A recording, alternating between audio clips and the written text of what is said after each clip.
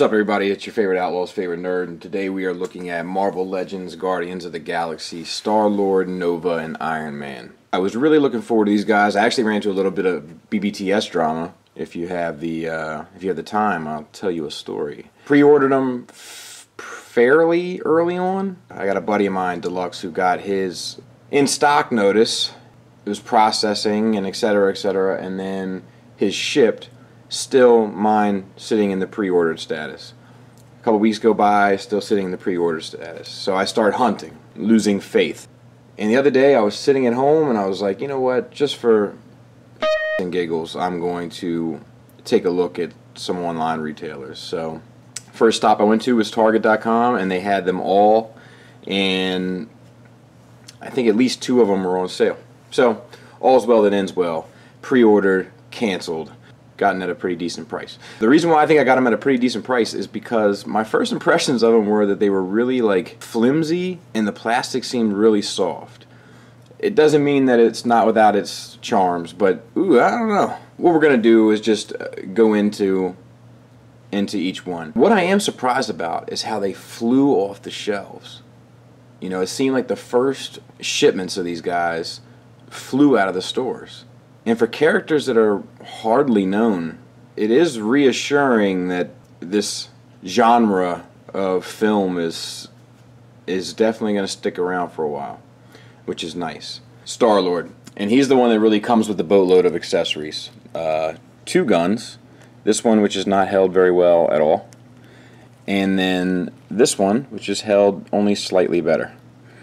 And I think a large reason for that is that the plastic on this, it just, it seems like, you know, it almost seems like you want to chew on it.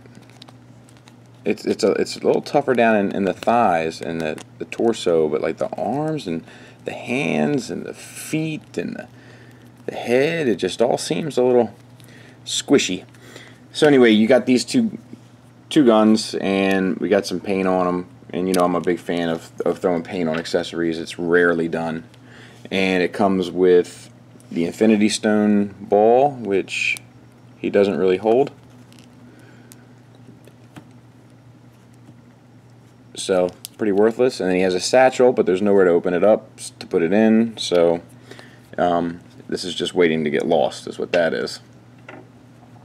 And then he's got his uh, Walkman, which it doesn't really seem in scale. And I'm, I'm nitpicking, but um, he will hold that fairly nicely.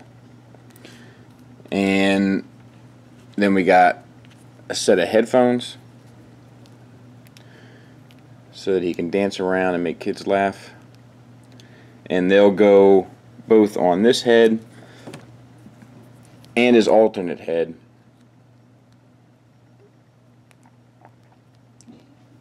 fairly nicely. The head's just pop off and it's a ball peg on a hinge.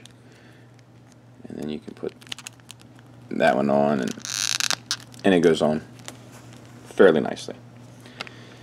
So articulation wise we know that already. Ball hinges for shoulders um, that work pretty well. Bicep swivel which you know they always got a hard time with that because of the, the fabric of the coat. So if you turn it at certain angles, it you know starts to look a little goofy. And then we got a double hinged elbow, and this such a soft plastic that it's just you know it's almost hard to even put in service, but you can get it, and you get all that out of it. And then we got a hinged swivel for the wrist, same on the other side. The coat is a soft plastic, which is you know, acceptable. And then this satchel here, this merce, if you will, is a soft plastic as well and floating. Let's see if the ab crunch. You don't really get anything out of the ab crunch. So it's kind of, you can get down, it doesn't ratchet fully. And you can't really get up, so kind of worthless. And we got uh, T ball jointed hips. Some paint mishaps there.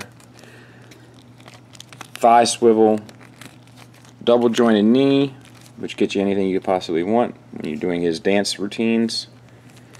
And then hinged ankles with a rocker. That works pretty nicely. Um, you do get a little bit of paint accents down there, and the coat is washed, obviously. Um, even though uh, because of the soft plastic, it, you know, it kind of works. You know, I, I could, I could, I could rip into this thing if I wanted to, but it kind of works. You know, and it also kind of looks like you know somebody spilled an ink pen on it, but it kind of works. Uh, the molding is nice. You get some nice detail in there and like all that. Like you know, you don't need all that, but they did it. So that's nice, and there's some pretty good detail down in there, and you know, overall that's nice. The the articulation is hindered by the trench coat, um, but that's kind of the cost of doing business with this guy. M my main complaint with this fella is, you know, like it just seems flimsy, flamsy. Is it me? I don't know. Um, I will say that this whole line, the the the face likenesses, they're really, there really seems like they're taking that to heart. Um, there's some really nice painting detail on this head as well. You know, you got one, two, three different paint apps. You know, plus the hair, four, five, with the skin tone. So, you know, how often do you get five paint apps on one piece of plastic, especially from Hasbro? I'd say rare, rare if ever. Next up is Nova. I have really mixed feelings about this guy. He's one of my favorites overall, just because I really love the metallic blue paint and how that kind of comes across. And there's a lot of things about him that I like. I like like his silhouette, you know, but he's also flimsy and the plastic seems soft and um, he's loose. I, I, you know, if you're if you're a Marvel Legends guy, I'm sure that some of this is, re, you know, re repainted because I can't imagine it'd be this loose if it was a new mold, like especially the arms. But anyway, head is on a ball hinge. Um, so back and forth, and then all around you get everything you could really want, even with the helmet. Nice thing about the helmet is you got the white eyes in there, which is nice, and then you got the little symbol there, which is okay. I think I would have liked the metal, more the metallic look for the, like that matched up a little better. It almost seems like two tones there. I'm not sure. Uh, shoulders, some extra little detail. These hinge up, you know, which allow you to get, you know, the arms up as as as as much as you need on the uh, ball hinge. So that's pretty cool. And then bicep swivel. This one is super loose. Um, this one's a little bit better, for sure. Double hinged elbows and it's the same thing that soft plastics up in here and yeesh, I don't know I don't I don't care for that hinged swivel wrist and then this piece here is glued oh no it's you see it? It's uh it's glued on and uh it's it's cool. You got the the blue ring on the outside of the white ring. So you know the paint they they did it seems like they took it to heart. This is uh all metallic blue paint that looks really nice. Ab crunch you get one click back and then you kind of you can go pretty yeah you can get a fair amount out of that I'm okay with that waist swivel soft plastic here so it won't hinder it which is nice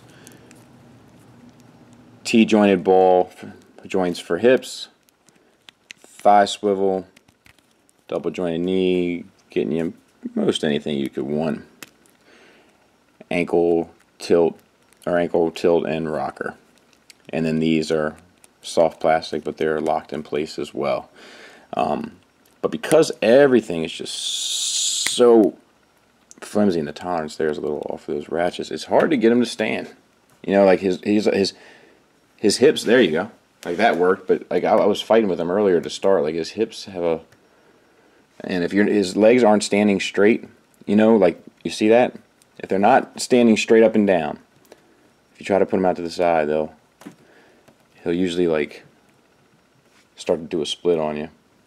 But of course, now I'm trying to show you, so he's, he's working well. But uh, trust me, believe me when I say when I tell you that uh, he was giving me a lot of grief a little earlier, just trying to set him. See, just trying to set him up for the for the intro.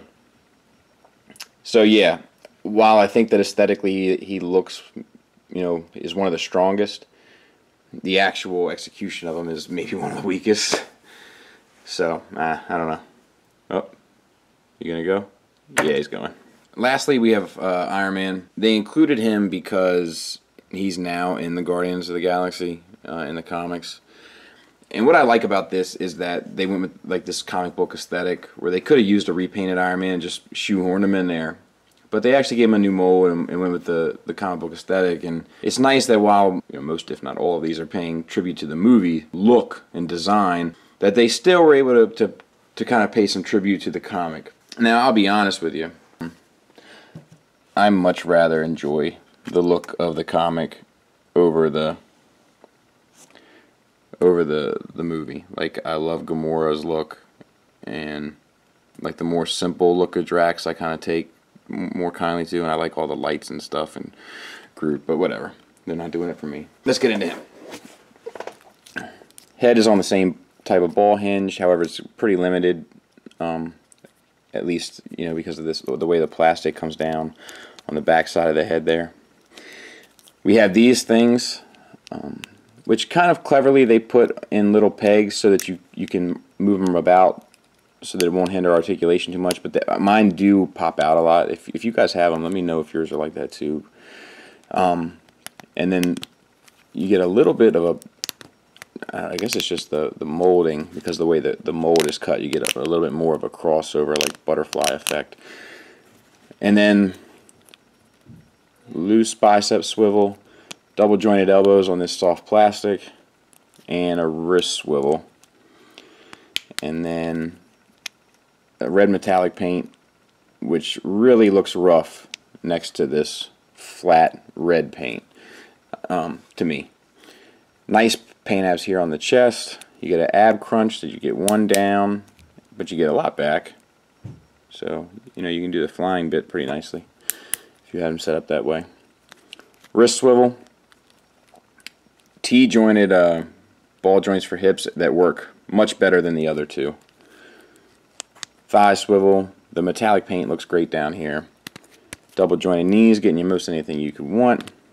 And then foot, ankle tilt, and rocker. And because the feet are so wide, you know, he stands like a champ, even though he does feel kind of loose, loosely put together as well. Um, he stands a lot better because he's got these, you know, these these big wide hooves um, to kind of give him some stability. He definitely gets some bonus points for his molding detail. There's a lot of line work in there. It's kind of a, it's not my favorite look of Iron Man, so that's unfortunate that you get all this attention to detail in the in the mold when the overall design is kind of not for me, but that's not really the toy's fault as much as it is the design's fault. So we'll give them a pass. So I went with these three because they're the weakest of the bunch. We'll get into the stronger ones who aren't without their problems, especially Rocket. Uh, next episode. It's cool to see some more obscure characters. I just I wish they would have gone more with the comic book design. Obviously they wouldn't because the the movie's the moneymaker at the moment. More importantly, I wish they would have gone with some stronger plastics, some tighter joints, and some some better overall structure.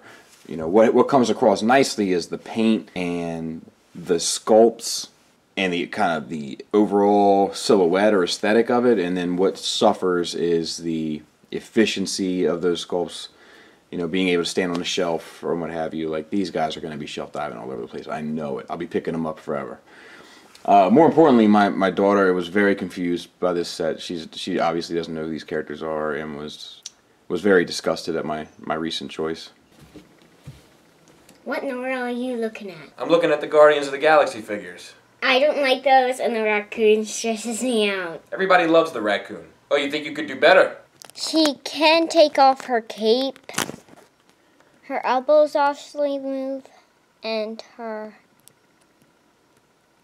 I forget what that is. And I think her her wrist can move. Her legs can, her knees can, and her feet can. Her name is Emma Frost. She is Crystal. This is when she turns into Crystal.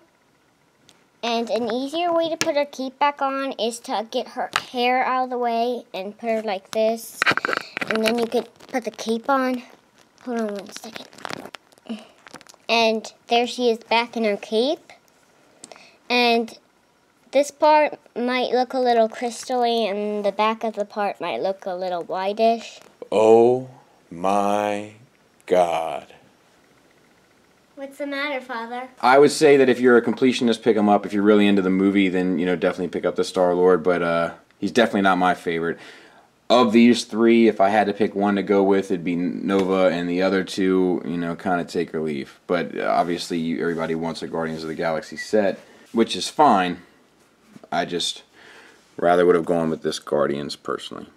I just like the way they look better. I think they look a little bit more interesting. This looks a little bit more hodgepodgey to me, with the exception of Nova, who looks pretty spot on. Thanks for listening. Thanks for watching. Until next time, take care. We'll have the other half on Thursday.